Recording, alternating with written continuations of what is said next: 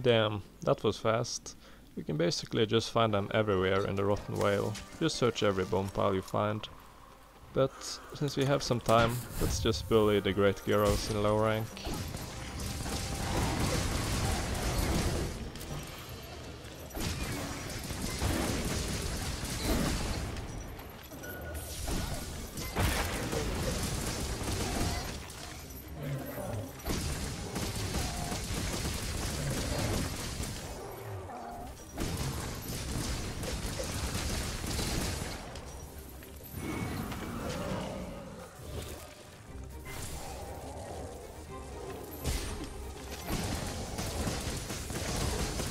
To be fair, you need a really high IQ to press triangle and circle at the same time.